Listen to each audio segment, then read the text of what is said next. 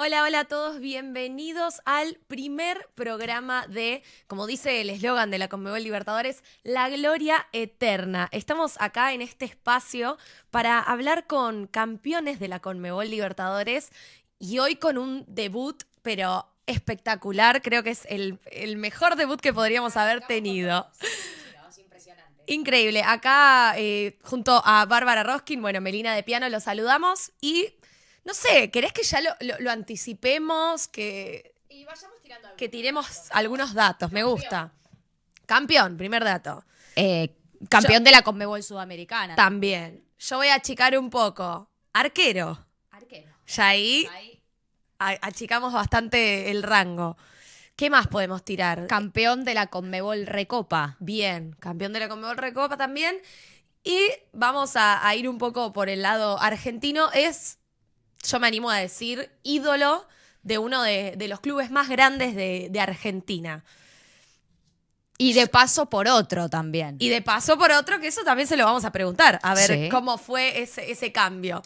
Eh, pero bueno, vamos a presentarlo, lo presentamos directamente ya es momento de que la gente lo, vea y aplauda con nosotros, porque es para aplaudirlo.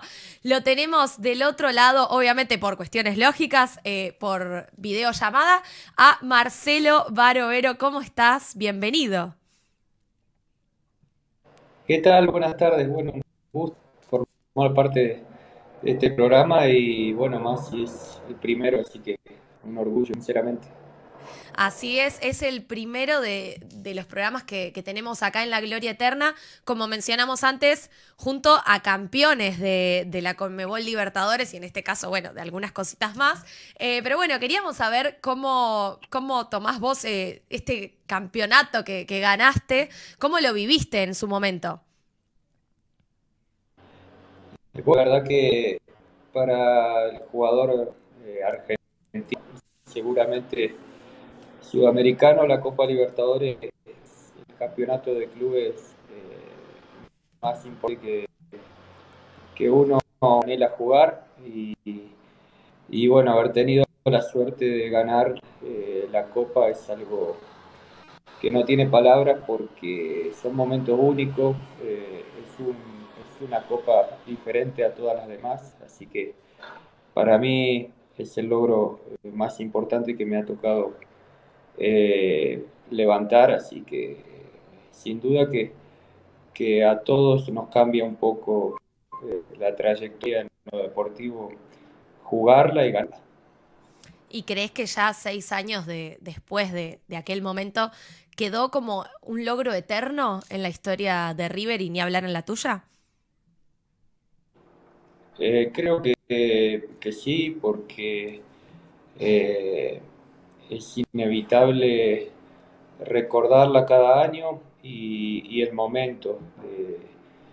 bueno, principalmente yo recuerdo los últimos 5 o 10 minutos después que hace el gol el Messi, que realmente ahí es cuando uno, o, en mi caso, eh, entras a darte cuenta de lo que estás consiguiendo después de tanto perseguir eh, este torneo y de tanto eh, más que sacrificio, decir el, camino que, vas marcando con tantos viajes, con eh, visitar diferentes países, localidades muy complicadas, así que eh, yo me quedo con, ese, con esos momentos que para mí son imborrables y van a quedar para siempre. Después creo que para el hincha, eh, hoy por hoy, siempre se buscan las estrellas y las estrellitas la, marcan, en este caso la, Copa Libertadores en, los equipos grandes, así que es algo que, queda siempre en la memoria. Eh, se dio el lujo de decir que, la Libertadores, la Comebol Libertadores la ganaron por suerte, dijo la palabra suerte. Y me parece que ese River eh, tenía un condimento que me parece que no tenía nada que ver con la suerte, sino más bien una impronta bien marcada. ¿Qué resaltás, qué destacás vos de ese River? Y la personalidad, de, el carácter de, meterse en cualquier cancha y, realmente pisar fuerte. Creo que si no tenés esas cosas es muy complicado porque, por lo que te dije antes, tenés que eh, visitar eh, países o, equipos que se hacen muy, muy fuertes de local y nosotros hemos obtenido grandes resultados de visitantes y eso encaminó muchas veces la serie y en otros casos, por ejemplo con Cruzeiro, bueno, fue una demostración. También de lo que podíamos dar cuando realmente estábamos con la máxima presión y, teníamos que ser nosotros los protagonistas, así que eh, hay muchas cosas para destacar, pero más que todo es a la hora de, entrar a la cancha de visitante, realmente eh, poner el pecho como hay que poner en estas situaciones. ¿Por qué era un equipo tan fuerte para los cruces mano a mano? porque éramos muy competitivos internamente eh, y porque en definitiva te tenés que preparar eh, para esas situaciones, esos momentos y saber que una serie eh, dura 180 minutos y no podías perder el equilibrio en ningún momento. Creo que al principio eh, o lo fuimos eh, armando a partir de la Copa Sudamericana, que ya de la primera fase te, te, obliga al mano a mano, diferente ahora, y, y eh, entendiendo cómo había que jugarla, más allá que sufrimos en la fase de grupos. Tenés un poco, va, si pensás un poco que tiene que ver con la conducción de Marcelo Gallardo como técnico, con su idea de juego y, la presión que, les ponía para bien, para, para que rindan?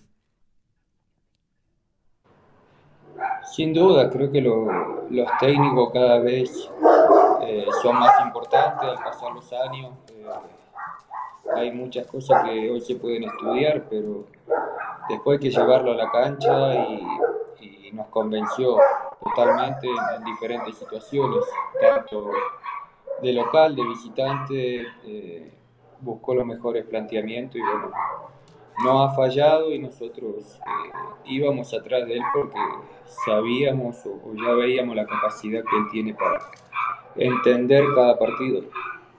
¿Sentís que un poco eh, la era Gallardo que, te tocó jugar fue uno de los mejores momentos de juego que tuviste en la cancha? Eh, sí, más que todo la Copa Sudamericana.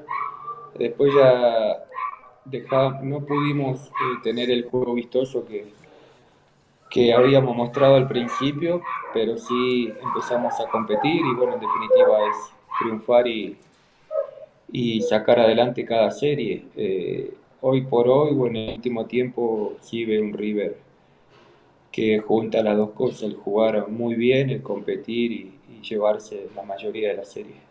Marcelo, estás acompañado, estás en tu casa, ¿no? Sí, se nota.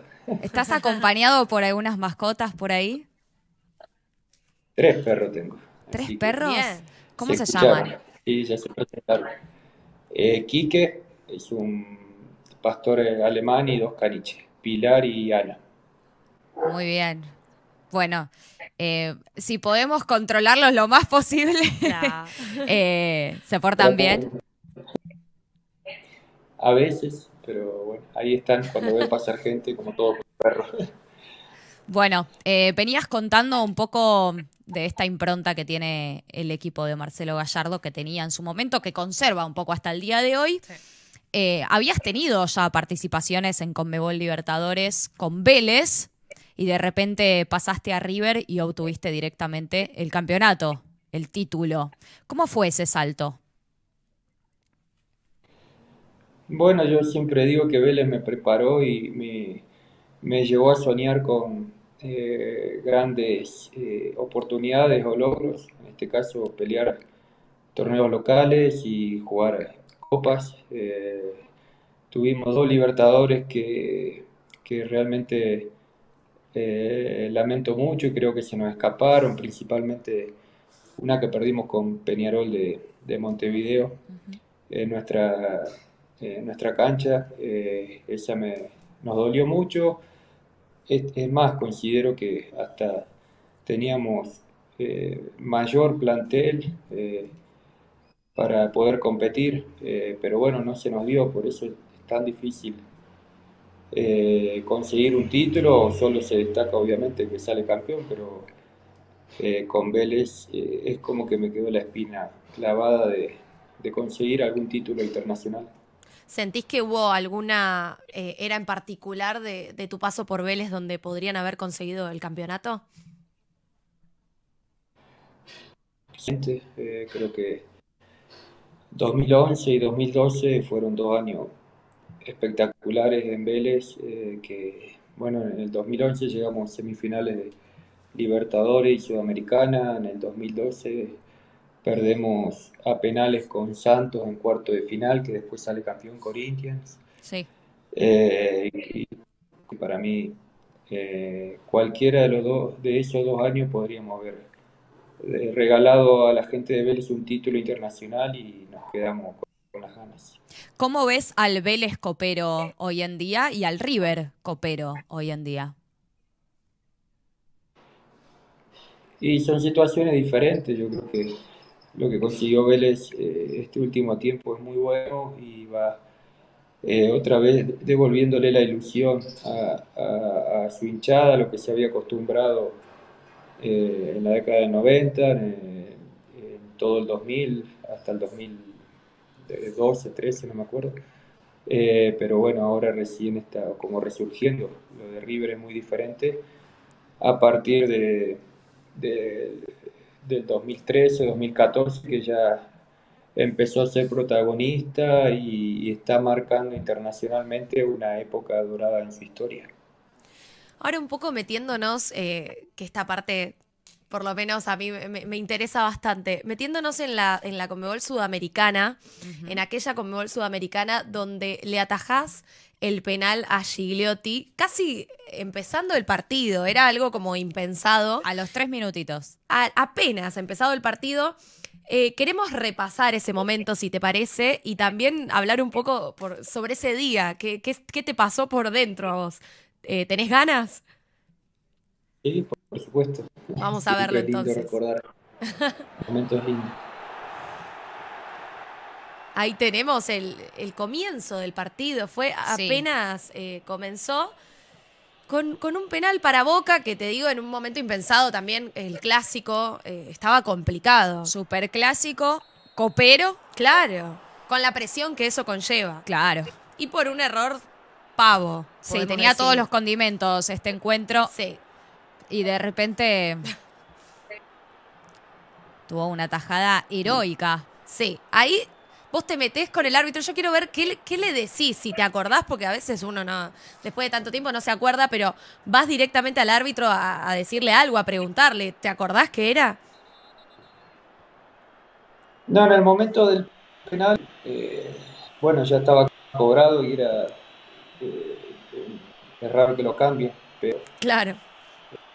más en ese momento, ahora ya es diferente. Pero lo único que me acuerdo es que me alejé de la situación, que mi compañero andaba por y, y, en un momento, ya a la hora de patear el penal, le pedí que dé la orden, porque ya habían pasado minutos, claro. estaba segundo mucho tiempo y, y bueno, era un poco también eh, que se termine esa agonía, angustia que había, o incertidumbre, mejor dicho, desde que se cobró el penal hasta que se ejecutó. Claro, y, también la presión para vos de, ser, bueno, chicos, basta porque soy yo el que tiene que atajar en este momento. Sí, un poco era, eh, bueno, que el partido en definitiva, porque ni había, eh, entre comillas, comenzado, porque fue muy raro. Eh, desde el saque al tan poco segundo, tantas cosas que uno se imagina ante un partido, encontrarte con esto que sin duda que creo que nadie lo, hubiese imaginado. ¿Qué opinas em, del relato de ese gol, recordás? De, ese penal, de esa tajada. ¿Recordás el relato? Porque tuvo un relato muy particular. De Rodo de eh, Paoli. histórico. Sí. Sí, Que, que hemos hablado aquí con él. Eh, pero quiero ver cómo, cómo, lo ves, cómo lo sentís vos eh, en primera persona, cuando escuchás a un relator que, con ese tinte, con esa energía, relata una tajada tuya. Y siempre Eh, Yo crecí eh, escuchando mucha radio en casa y, a grandes relatores y, bueno, obviamente, pero bueno, ser uno el protagonista es como que, bueno, me tocó a mí y, y es, es grandioso, fabuloso estar eh, dando parte de, de esos momentos históricos eh, cuando uno quizás siempre lo miraba o lo escuchaba de lado. Y aparte se generó algo espectacular con ese barovero, barovero. Creo que eterno. fue el protagonista de la tajada porque lo nombró un par de veces. Un par de veces, como cuatro o cinco, pero se generó a partir de eso algo eh, icónico con vos, eh, y ni hablar de, de con River. Había chicos después eh, con buzos que decía Barovero, eh, se hicieron memes, se remixó el Barovero, Barovero. Sí, se hicieron temas. Eh, claro, se hicieron temas a partir de ese relato de, de Rodo de Paoli. Y hubo como, como algo distinto que empezó a pasar ahí con vos, que hasta, no sé si ya lo tenemos para ver, pero hasta se hicieron cuadros. eh, quedaste como el ídolo marcado a partir de ese momento. Sí, porque además Ahí- tuvo un festejo muy particular. Claro, con la mano. Eh, ¿Por qué este festejo, Marcelo? No, el festejo es porque, bueno, obviamente que no, jamás me, me puse a, a pensar cómo podía festejar en ningún momento, porque tampoco he ido a patear un penal y bueno, los festejos normalmente están en los goles. Y en este caso, eh, eh, en ese momento recordé lo de la mañana que habíamos analizado los penales y y me salió marcar eh, eh, con el dedo lo, lo que uno como atribuyendo o aceptando que, que el haber analizado, estudiado, eh, te- me, me acompañó para, para un en esa situación, nada más, pero jamás me, me puse a ver que después iba a quedar marcado para toda la historia. Y, y todo quedó marcado. Se generaron, bueno, como vemos acá un cuadro de, de uno de nuestros compañeros. eh, de todo hubo. ¿Vos llegaste a, a vivir esa repercusión después del partido eh, con los hinchas, con, bueno, con las redes? eh, ¿Llegaste a dimensionar claro. la magnitud que tuvo esa tajada? obviamente, ahí en el momento eh, o el día posterior y todo, eso, ya uno se había enfocado en, en salir campeón y en ganar la final, jugábamos la semana posterior, pero Claro. Después con el tiempo y, hasta el día de hoy te- se, eh, siguen apareciendo hinchas que te muestran un dibujo o un video o, hasta tatuajes, así que es increíble eh, lo que la, la posibilidad que a veces tenemos de darle eh, una alegría grande a la gente. en definitiva, yo siento eso, persigo eso de que el hincha se siente identificado con lo que uno hace adentro de la cancha y gracias a Dios, ese grupo de jugadores y bueno, todos los que formamos el equipo, le dimos grandes alegrías a la gente. Sí, y creo que em, también sentido de pertenencia un poco. Eh, y te quería consultar, Marcelo, si vos crees que después de, de ese quiebre, que un poco lo generaste vos, em, ¿sentís que se dio vuelta un poco la suerte, que es algo que vos hablabas antes, para River, eh, para con Boca? La serie cambiaron mucho las cosas, los está a la vista de todo, eh, más que todo, más que todo. En los mano a mano que, que vinieron muy rápido y muchos seguidos y, y bueno, prevaleció River, así que eh, bienvenido sea eh, y bueno, hay que aprovechar los, los buenos momentos, tratar de, de que se estiren lo máximo que se pueda y que la gente siga disfrutando pero bueno, sin duda que eh, fue un, un, antes y un después y, y, nada, que siga por mucho tiempo más. ¿Mirás la Conmebol Libertadores hoy en día? ¿Mirás los partidos de River? Sí, anoche miré eh, el partido con Colo Colo, trato de, de seguir en lo que pueda, eh, porque realmente atrae mucho cualquier partido que se juegue. Lo que dije al principio, es eh, el torneo más importante que disputa un, en Sudamérica y tiene un condimento muy especial, más ahora después de, la pandemia que los estadios otra vez están a la altura de, de lo que es la Copa. ¿Y viste los dos goles de Gigliotti con Nacional? No, no vi el partido del Nacional y Vélez, estábamos entrenando. Eh, eh, vi el resultado 2-1, pero no, no vi el partido del martes, así que de hecho quería un compañero ahí con él, pero eh, nada, me ha tocado varias veces y bueno, yo sigue demostrando la, la calidad delantero que es, más allá de, ese momento que nos tocó vivir, él ha sido en todos los equipos que estuvo, así que siempre se merece eh, que le vaya bien. Eh, ¿Te ha tocado volver a cruzarte con Gigliotti y, qué pasó en esos momentos? No, eh, sí, nos cruzamos aquí, él jugando en Toluca, en León, yo en Monterrey, eh, ahora en San Luis, y nada, el respeto y, cada uno quiere hacer lo mejor para su equipo y siempre lo que importa es el partido que se está por jugar y, nada más para el jugador. la historia eh, solamente la, recuerda la gente, los hinchas, el periodismo, obviamente, porque esto es en definitiva un espectáculo y y se genera siempre eh, algo para incentivar, para recordar, pero en líneas generales nosotros como jugadores estamos muy ansiosos del partido que nos toca jugar en el momento. Bueno, se lo tomó todo como un profesional. Eh, te pregunto, Marcelo, si seguís siendo ese arquero estudioso que festejó esa tajada con el dedito hacia arriba porque había estudiado ese penal ante Gigliotti. Sí, estudio los penales, pero no, no soy eh, muy penalero. Eh, la estadística no me, no me acompaña mucho, pero bueno, tuve la, la posibilidad de, atajar uno que significó mucho y nada más seguiré intentando de, estar a la altura en, en, cada partido y menos penales cobren, mejor en contra.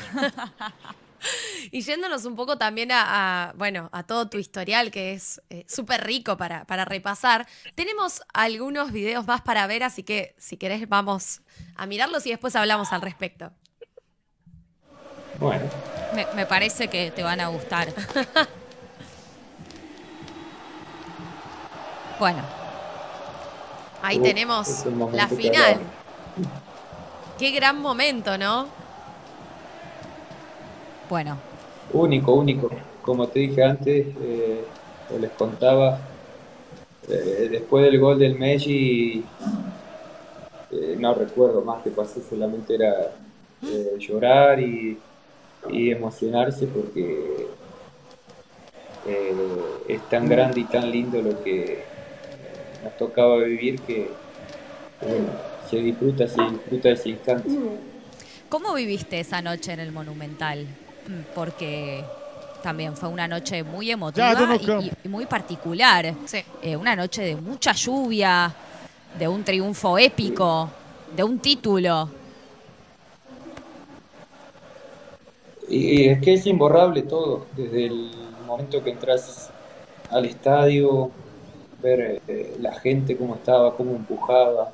Eh, son noches únicas que creo que nunca se van a borrar. Eh, obviamente por el resultado y por el, ambiente que se vivía. Es toda una película perfecta, en definitiva. Y ahí te vemos eh, levantando la copa. Qué momento, pero emotivo para cualquier jugador y para cualquier hincha del fútbol en general. Eh, ¿Vos te sentiste un poco referente de ese equipo en aquel momento o te hicieron sentir así los jugadores? Sí, en general éramos, está bueno la palabra referente, éramos varios. que muchas veces se queda con, con la capitanía. Yo, yo destaco más eh, ser referente y ahí éramos varios, eh, más allá de quien llevaba el gafete de capitán. Así que estábamos todos cómodos del lugar que ocupábamos. La verdad que ser más que nadie y por encima de todo estaba el escudo y darle alegría a la gente. Así que, y destaco, creo que ese equipo tiene, tiene eso para recordar de que nadie quería ser la figurita, sino entre todos llevar adelante eh, el plantel y, conseguir los objetivos. Lo cual es lo, creo que lo más importante. ¿Qué consejos le pudiste dar eh, desde tu experiencia eh, a los demás jugadores para, para desarrollar esta Conmebol Libertadores que ganaron? no, consejos no, en definitiva, se va bajando una línea en los planteles. Yo considero eso y es la obligación de los referentes. Eh, no hay que imponer nada, solamente que, que vayan escuchando, captando las cosas y después las tienen que vivir los más jóvenes. A mí me tocó eh, ser joven eh, y en la época de Vélez, por ahí, bueno, yo tenía 24, 25 años. Y bueno, trataba de captar todo lo que, lo que hablaban los más grandes y creo que eso me, te va formando, en definitiva, eh, siempre con el respeto hacia, hacia los jugadores de jerarquía y, tener la suerte de tener personas por encima de, de uno que le dejen grandes enseñanzas. ¿Se consideraban favoritos en esa Conmebol Libertadores? Qué palabra, ¿no? eh, no, la verdad que no, ni, no nos poníamos ningún eh, cartel, ni, ni nos, tampoco nos queríamos quitar la presión, sabíamos la obligación y lo que podíamos dar, eh, más que todo después de la Sudamericana y la Recopa que habíamos ganado. Así que eh, considerábamos que era el momento para, para poder marcar la historia y fuimos, fuimos a hacerlo y, lo logramos, gracias a Dios. Y recién mencionaste al pasar eh, tus edades en, los pasos por los clubes. Te fuiste, si no me equivoco, a los 32 años de River. ¿Estoy bien? Perfecto. Eh, ¿Por qué te quisiste ir? ¿Qué te pasó por la cabeza para tomar esa decisión?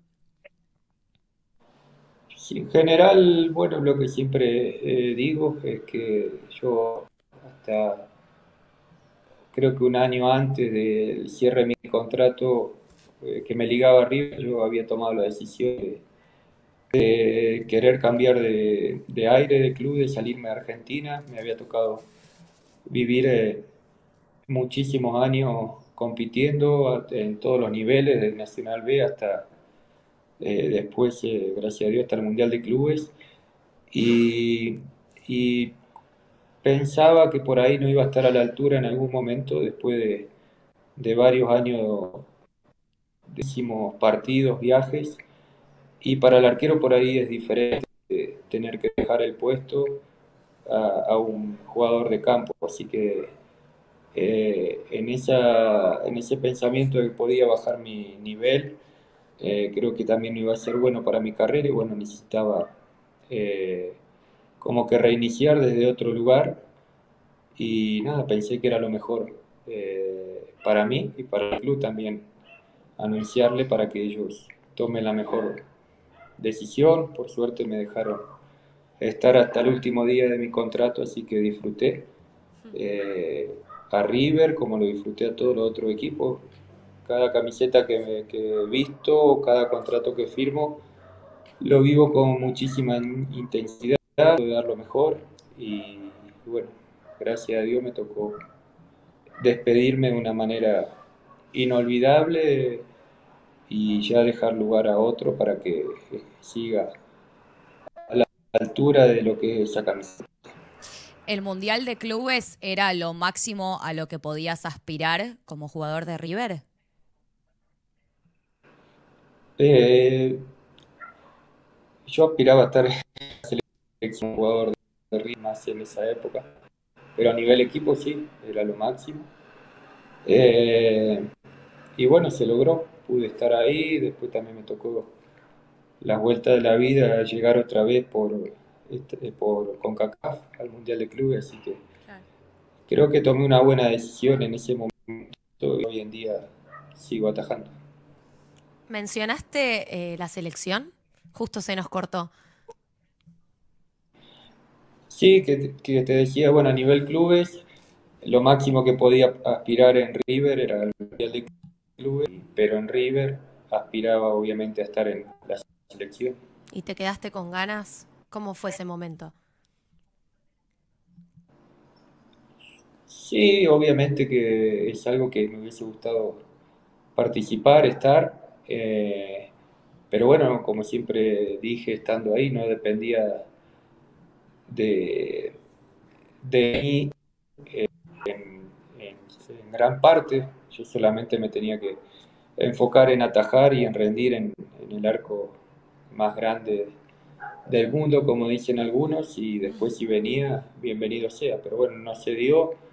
eh, pero nada, lo importante es que el hincha de River se identificó con- conmigo y yo le podía dar, o, o teníamos la obligación de darle lo mejor cada fin de semana. ¿Crees que River hoy en día es más vidriera para ser jugador de la selección que en ese entonces cuando vos estabas? Creo que River siempre fue vidriera. Después como también hubo algunos caprichos, cosas raras que, que no se entendía porque más allá de mi caso había jugadores jóvenes de un nivel extraordinario y, no eran convocados y en el momento que, que eran transferidos, creo que antes que pisen Europa ya eran convocados, así que hay cosas a veces que, que escapan y sí no tengo dudas que la presión y la exigencia que hay cada semana en los equipos grandes en Argentina, por ahí no está eh, en Europa seguramente, en, en equipos de, de menor magnitud. ¿Cómo lo ves hoy en día a River en la Conmebol Libertadores? Bien, muy bien, firme. eh, creo que eh, está llevando muy bien la fase de grupos, eh, con la doble competencia también del, torneo local, así que anoche encaminó la clasificación, era el partido por ahí eh, clave o, esa necesidad de ganar el partido afuera para ya asegurando la localía estar en, la próxima fase. Claro. ¿Y Armani cómo, cómo lo ves desde tu experiencia? Anoche lo vi muy bien, otra vez clave en el primer tiempo, un par de eh, pelotas eh, complicadas. El segundo tiempo, sinceramente, no lo vi del todo, vi los goles. Eh, pero bueno, lo del primer tiempo sí, lo vi muy bien. Que cumplió un, un récord en River como el cuarto arquero con más eh, presencia, con más partidos defendiendo la camiseta. Y vos ocupás el séptimo puesto, o sea, estás ahí entre, entre los más icónicos de River. ¿Cómo también sentís eso eh, como un orgullo, calculo yo, y, y también cómo lo ve la gente eso? Sí, eh, lo más importante a veces, o considero, es, eh, es la calidad de, de los pasos de cada uno por el, por los clubes. Y, y muchas veces no depende de lo individual solamente, sino que el entorno, en este caso el equipo, te, te lleve a lugares que, que te ponen eh, en un cuadro, por decirlo de alguna manera, que es conseguir títulos, medallas, así que yo, más allá de, estar muy feliz de, de la cantidad de partidos que he jugado en cada club, lo más importante es lo que conseguimos y haber marcado la historia, eso creo que no te ¿Tenés lo quita algún- nadie y es lo que... Sí. Perdón, se había cortado. Eh, ¿tenés algún ídolo hoy en día o algún jugador referente o, jugador que te guste mucho y, lo sigas constantemente? No, ya a esta altura un poco se apagó toda la idolatría, pero cuando eh, empezaba, seguía mucho a, Iker Casilla porque me parecía magnífico todo lo que hacía y a tan corta edad. Eh, ya debutar en el Real Madrid, conseguir cosas increíbles y después marcar la historia de un país, así que eh, me quedo con él por todo lo que ha hecho en su historia. Bueno, y un poco para, para ir cerrando, primero agradecerte por, por esta charla que tuvimos, más allá de, los problemas de conexión, estuviste acá y para nosotras es un honor. Eh, y quería preguntarte, como para finalizar, vos hoy en día estás en el Atlético de San Luis, estás muy cómodo en México. Em, ¿Cómo te ves eh, de acá a unos años? ¿Haciendo qué? La verdad que no sé. Espero jugar un tiempo más. Eh, ya tengo 38 años, también lo acepto. Eh, pero después de, mi etapa como jugador todavía no, no la tengo definida. Eh, sí me he recibido de director técnico, pero es más una cuestión de, de prepararse y seguramente me corra un tiempo del día a día del fútbol, porque son ya eh, casi 20 años como profesional y, todos los años es lo mismo, eh, o la misma rutina. Eh, no me quejo, pero sí creo que sería lo mejor para ver desde afuera si realmente me, me, gusta o, necesito volver al día a día de, de, del fútbol de, desde otro lado y si no, haré otra cosa. Pero no, no tengo definido. O sea que quizás, después de un descanso tenemos un, un barovero de té. Sí. ¿Pensaste en qué club te gustaría retirarte?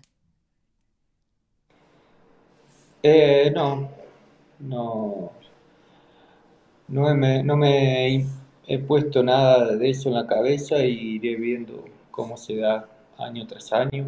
Eh, ya tuve una gran despedida en, River en, su momento, inolvidable, espontánea.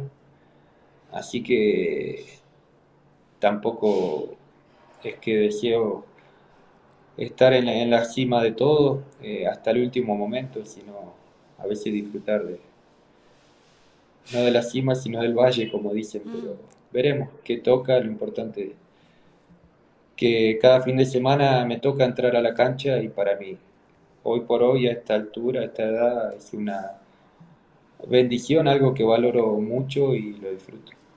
Bueno, eh, gracias Marcelo por, por, esta charla. La verdad que felices de, tenerte acá, de este paso por el primer programa de La Gloria Eterna, así como, como lo dice el eslogan de la Conmebol Libertadores y como debe ser con un campeón eh, de la Conmebol Libertadores acá también. Nos hubiese encantado que firmes la pelota, porque acá tenemos las firmas de varios, pero bueno, en tu paso por Argentina, cuando estés por acá, te vamos a pedir que te acerques o nos acercamos a donde estés. O nos acercamos, claro. A ver si podemos tener la firma de Barovero en nuestra pelota. Sería un honor. Así que bueno, muchas, muchas gracias y esperamos, bueno, que, que sea con muchos éxitos lo que venga. Bueno, le agradezco a las dos y ojalá, ojalá que pueda firmar eh, el balón y nada. Eh, agradecido por la invitación y, bueno, esperemos que le vaya muy bien, éxito en, todos los programas que vienen. Muchas Muchísimas gracias. Nos vemos la próxima. bueno, qué linda charla tuvimos. Hermosa charla, hermosa charla con un referente, con un exjugador de River, ahora en México. No sabe en qué club se quiere retirar. Sí, hay... Eh, un hombre de una trayectoria enorme en este deporte y bueno, esperamos Esperamos que firme para que firme la pelota. Sería la verdad que un placer y nada, muy, muy linda la charla, muy, muy fructífera, un montón de cosas que, nos estuvo diciendo, así que bueno, esperamos que del otro lado también la hayan disfrutado. Para los que quieran, acá, no, de este lado, ahí va, ahí va, tuki, tuki, tuki. Ahí tenemos el QR que se pueden descargar la, aplicación, pueden mirar eh, todos los programas que tenemos eh, de la Conmebol Libertadores y Conmebol Sudamericana.